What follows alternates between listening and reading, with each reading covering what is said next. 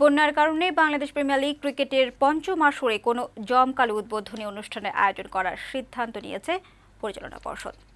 দেশের বানভাসী মানুষের পাশে দাঁড়াতে বিসিবির এই উদ্যোগ। মুঠোফোনে বৈশাখী টেলিভিশনকে বিষয়টি নিশ্চিত করেছেন গভর্নিং কাউন্সিলের চেয়ারম্যান আফজালুর রহমান সিনহা। উদ্বোধনী অনুষ্ঠানে যে ব্যয় হতো, সে অর্থ বন্যার্থদের সহায়তায় দেওয়া হবে বলে জানান তিনি। বিসিবির পরবর্তী সভায় এটি চূড়ান্ত অনুমোদন দেবে কার্যনির্বাহী কমিটি। আগামী দুই নভেম্বর থেকে বিপিএল ক্রিকেটের পঞ্চম আসর বসার কথা রয়েছে।